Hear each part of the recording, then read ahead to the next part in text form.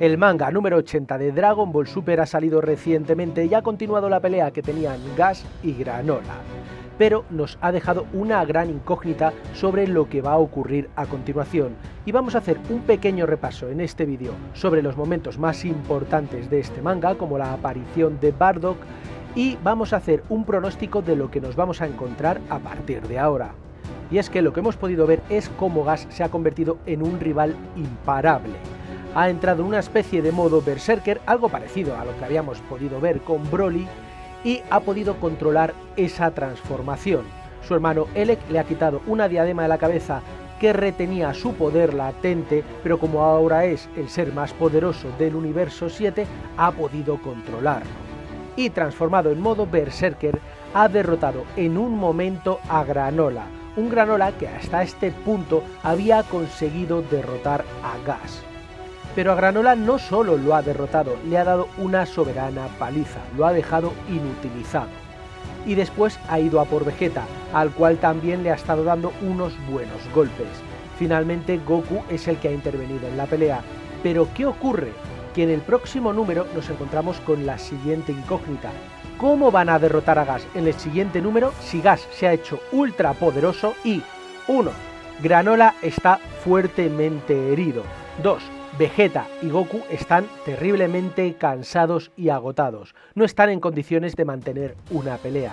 Y es que se han quedado sin semillas Senzus, no tienen elementos curativos y aunque Monite puede curar heridas leves, no puede recuperar a personajes que están fuertemente debilitados como Granola, Goku o Vegeta. Dicho de otra forma, no pueden derrotarlo. Entonces a mí se me ocurren tres posibilidades. Una, que Gas decida no seguir peleando, quizás porque se enfrente a su hermano Elec. Al fin y al cabo, Gas está siendo manipulado por él. 2. Que Goku y Vegeta, los únicos personajes que ahora mismo se encuentran en condiciones de hacer algo, aunque fuertemente cansados, se fusionen. La vieja confiable. No tienen pendientes Potara, tendrán que hacerlo a través de la danza metamorf. O sea, que se venga Gogeta. Y esto es algo que sé que a muchos fans le encantarían. A mí particularmente me parecería una decisión ya demasiado repetida en el tiempo. Recientemente lo vimos en la pelea contra Broly y volver a ver ahora a Gogeta me parece, como he dicho, un recurso ya que se ha usado demasiadas veces en poco tiempo. Y la tercera posibilidad, y la que a mí más me gusta, es que venga algún personaje que actualmente no está en el planeta cereal a ayudar a nuestros protagonistas y se me ocurren muy poquitos personajes que puedan echar una mano. Por un lado, algo que le iba a gustar a mucha gente, que apareciera Broly, quizás porque Bills y Whis le hayan llamado, hayan ido a por él para que ayude a Goku y a Vegeta.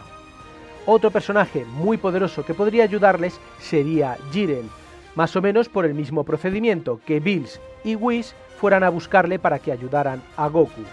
Otro personaje interesante que viéramos aparecer sería el propio Freezer, lo cual tendría bastante lógica, ya que Freezer ha sido un personaje mencionado muchas veces en esta saga y que aún no ha sido visto. Por un lado, ha sido mencionado por Granola, ya que todo lo que ha hecho Granola ha sido para vengarse de Freezer. Y por otro lado, Freezer es el enemigo de Elec, respecto a que Elec quiere usurparle su puesto como emperador del universo así que tendría mucho sentido que en algún momento apareciera. Y sí, es verdad que Freezer no es tan poderoso como para darle combate a gas, pero os recuerdo que entrenando en pocos meses consiguió pasar de un nivel de poder de un Saiyan de nivel 1 a un Saiyan de Super Saiyajin Blue. Así que quizás en este periodo de la saga de Moro donde no hemos sabido nada de él, haya estado entrenando y ahora Freezer haya alcanzado un nivel de poder lo suficientemente grande como para poder darle enfrentamiento a Gas. Y finalmente, el último personaje que se me ocurre que pudiera aparecer y que a mí particularmente me gustaría muchísimo es Bardock. ¿Y por qué digo esto? Pues para eso tenemos que ir al flashback que hemos visto en este mismo número, en el manga número 80, donde ha aparecido Bardock. Y es que en las pocas viñetas que ha aparecido, uno ha aparecido en todas las viñetas sin cola. pudiera ser un fallo a la hora de dibujar por parte de Toyotaro, algo que es bastante común en los mangakas, que en los primeros diseños pues se les olvide algunos elementos. De hecho a Toriyama le pasaba muchísimo con la cola de Son Goku, motivo por el cual en un momento dado ya decidió dejar de dibujársela. Pero es raro que a Toyotaro se le haya olvidado dibujar en absolutamente todas las viñetas la cola a Bardock.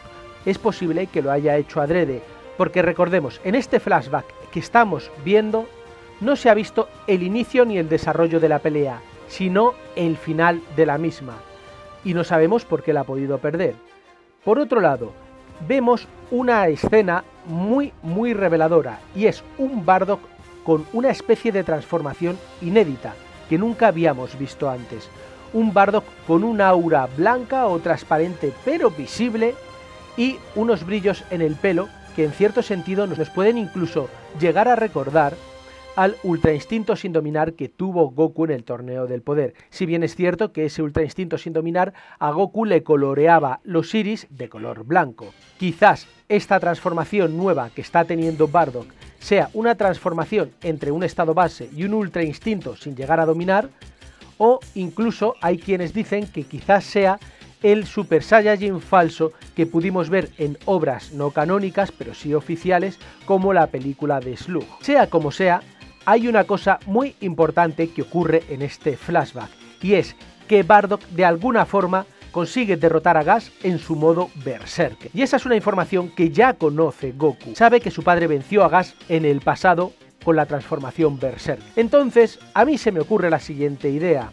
Ya que las esferas de dragón del planeta cereal no necesitan tiempo para recuperarse, quizás es posible que Goku le diga a Vegeta que aguante en la pelea contra Gas, mientras Goku, cogiendo el radar que tienen ahora mismo los hermanos Hita, vaya a buscar las dos esferas del dragón trombón y le pida el deseo de que resucite a su padre, ya que él sabe cómo derrotar a Gas con esta nueva transformación.